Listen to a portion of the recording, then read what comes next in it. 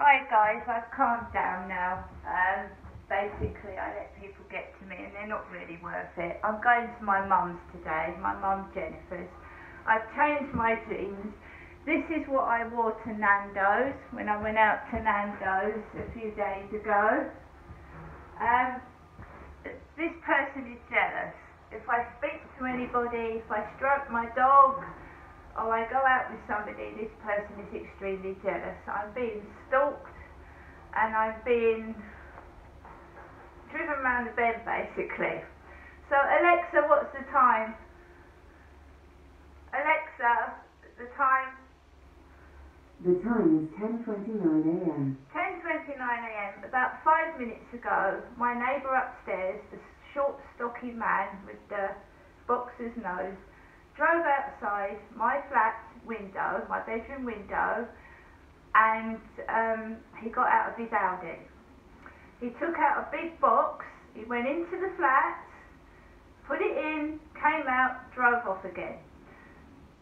Almost immediately afterwards, two men walked underneath my balcony near my bedroom window, one with jeans, one with dark glasses on, younger man with an old with an old man. So it looks like my son walking with an old man. This old man had pure white hair and he had dark glasses on as well. Immediately after, my neighbour upstairs drove off and the, the elderly man went uh underneath my balcony. The builders are building, there's a load of noise. This is my mum rang me up and said, Ginestra, would you like to come up at 11 o'clock this morning? 11. Jennifer did. And I told you, whenever my mum rings, there's trouble. If she doesn't want me to go up, she's just got to say so. She doesn't have to have a performance. Alright? Because when I go up there, sometimes she's yawning when I'm speaking. There's not going to be any arguments. I've let it all out before I've gone up to my mum because she'll sit there, lie back with her mouth open and go, oh, like I'm boring sometimes. Right? You know, this isn't a comedy show. This isn't a soap opera. This is real life. She's my mum. I'm her daughter. And we should be nice to each other and caring and chat about Derek, my dad, you know, that died suddenly it, whilst he was going to the toilet, he crawled across to the floor and he do- dropped dead in my mother Jennifer's in his bedroom. Right? He had heart trouble, he had COPD, and every time I went up there, he used to tell me to fuck off, he was dying. And now he's dead. Life is short. I don't want to argue, I don't want to shout, and if nobody wants to be with me, so be it. I'll be with myself.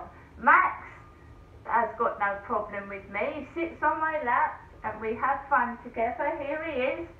He follows me wherever I go. I've, I've been married for 18 years. I was married. Right, my husband was okay with me. I left him. I left the drunk and the drug addict at Lansdowne Court. I left him. He still came up to me after after I'd left him. The problem, I don't know where it's stemming from. It's probably because I told of my neighbour upstairs that you know, please keep the noise down. And what is er got to do with it? What is being ugly got to do with keeping keeping the noise down? Why bring my looks into it? Person that's bullying me doesn't look all that themselves, they look like a boxer. A short, fat boxer. I mean, don't. And these men, they hit women. I was punched in the face in broad daylight in 2010 by a man. And he punched a woman in the face right in front of spectators at a bus stop who did nothing to help me when my glasses broke on the floor. They just bloody stood there. You know, like when my dad used to hit my mother Jennifer with cider bottles in Mayow Park in London. He used to belt her in the park with people watching. What the fuck is this? Beat women up.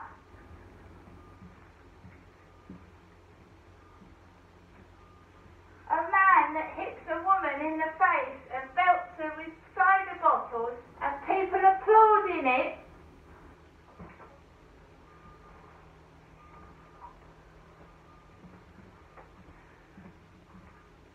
You find that when someone starts to speak the truth and all abuse starts to come out, they will make you feel insecure.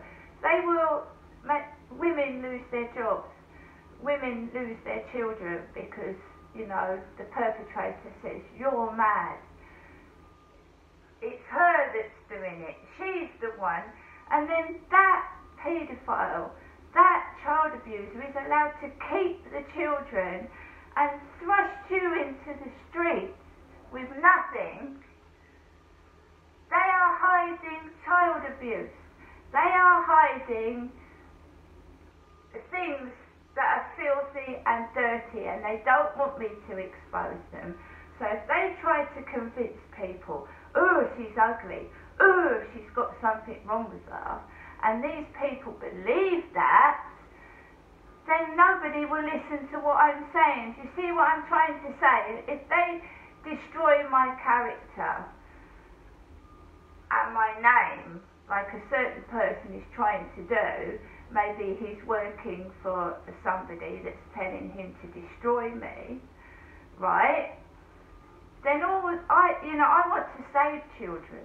I want. I had a horrendous childhood. I was being abused almost every day of my life, and I couldn't tell a teacher. Teachers don't believe children. Police don't believe children. They don't. That kid is lying.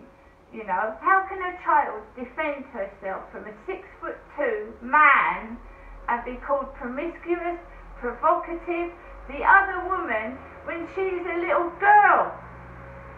Absolute rubbish.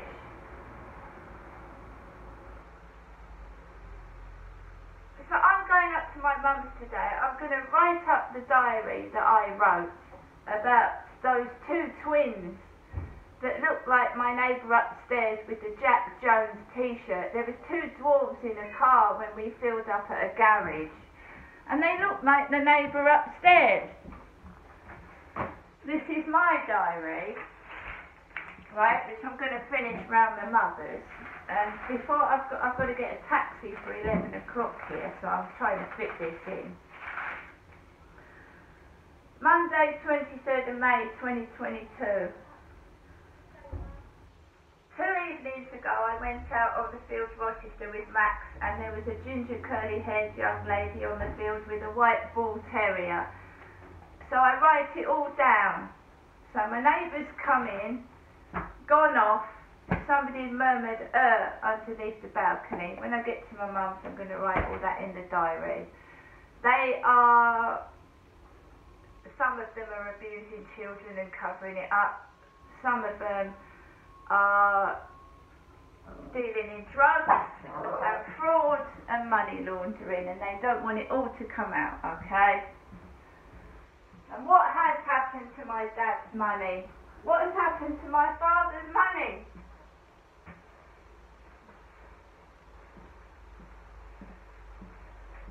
You see, I'm, I'm a needle in their side, and they don't like it, and I'm going to keep being in there till I get to the truth. See you later.